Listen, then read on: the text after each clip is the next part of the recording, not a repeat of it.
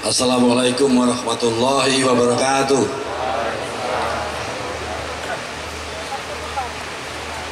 Sugeng Dalu, Abah Mustafa Bisri, selamat ulang tahun. Semoga terus sehat, terus bahagia, itu yang paling penting. Terus berkarya dan tidak bosan-bosan membimbing kami yang nakal-nakal ini. Selamat malam Cak Nun Selamat malam Mas Jawawi Dek Lea Para pejabat, ibu-ibu, bapak-bapak Mas-mas, mbak-mbak, adik-adik Kabeh, Mbak Nana. Eh, Panitia memberi tugas saya yang tadinya menggembirakan. Saya diundang baca puisi pada ultah Gusmus itu menggembirakan. Tapi kemudian menakutkan yaitu puisinya kudu merespon Gusmus. Aku ya abot seperti anak SD suruh merespon profesor gitu. jadi berat sekali tapi kemudian dilalah kersane Allah beberapa hari lalu Gusmus yang waskito itu tentu saja mengerti kesulitan saya dan mengirimkan hadiah istimewa berupa dua buah peci. Ini salah satunya. Peci ini tidak sembarang peci, kalau di toko banyak. Peci ini benar-benar peci yang biasa dipakai oleh Gusmus. Saya masih menyimpan satu, tapi tidak akan saya berikan pada kalian. Lalu kesulitan saya sedikit teratasi karena dari peci itulah saya kemudian menulis oret-oretan. Mohon maaf kalau ini tidak eh, kurang berkenan judulnya ini puisi anggap saja puisi ini judulnya peci hitam untuk Gusmus ku kenakan peci ini kopiah hitam yang biasa kau pakai sehari-hari agar jejak kulit kepalamu menyentuh kulit kepalaku berharap cahaya mimpi-mimpimu mencahayai mimpiku. Bila benderang impianku, semoga aku mengerti mengapa kau kukagumi.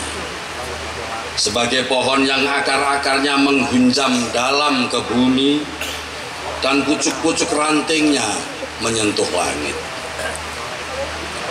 Aku mengagumimu, karena itu aku kerap berharap padamu.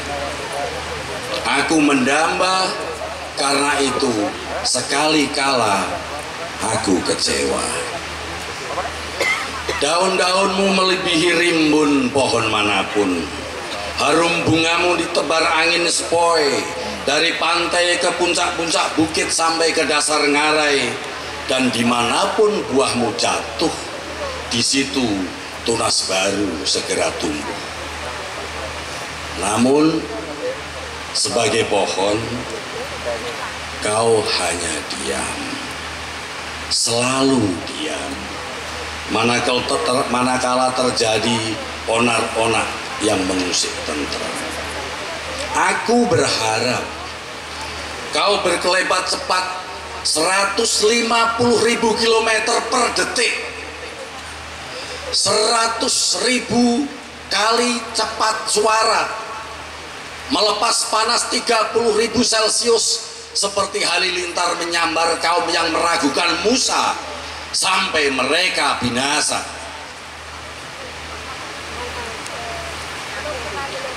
Kadang kuangankan kau angin yang mendesak dengan kekuatan 2.800.000 Newton. Membelah jantung laut merah menyelamatkan Musa dan para pengikutnya lalu membiarkan air menggelegak sebagaimana semula menenggelamkan laskar Fir'aun beserta seluruh kereta dan kuda-kuda mereka. Atau mendung yang bergulung-gulung dari seluruh lengkung cakrawala memekatkan langit Nainawa sehingga seluruh hati yang ingkar, jiwa yang mungkar menjadi gentar dan tidak lagi menesta Yunus bin Mata. Ku kenakan peci hitam ini agar jejak kulit kepalamu menyentuh kulit kepalaku agar kejernihan pikiran-pikiranmu menjernihkan pikiranku bila bening pikiranku semoga aku tahu betapa kau anggun dan agung melampaui pohon halilintar angin atau mendung. Aku mengagumimu karena itu aku berusaha memahamimu. Tapi kaulah syair yang sekaligus menawarkan ribuan tafsir. Diammu adalah diam penyair yang menghayati hakikat kata. Diam makna yang sembunyi demi menjaga harmoni bunyi-bunyi. Diammu adalah kesenyapan yang berkhidmat sebelum dan sesudah kalimat. Sunyi spasi, tanda baca, demi suara-suara saling saut dan citra menemu wujud. Diamu adalah tafakur huruf-huruf yang terukir mewakili selain dirinya sendiri.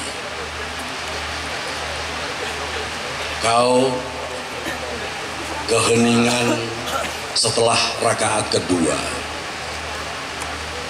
Percakapan rahasia antara dekap jantung dan Sang Maha Agung. Gema cinta di urat nadi yang mengaruskan hayat di bawah jangan Tiap kali ku kenakan peci hitam ini, terbayang jejak jelajahmu seperti Orpheus yang tabah mengembara dari lembah ke lembah dengan senantiasa menyebut asma Allah. Wassalam.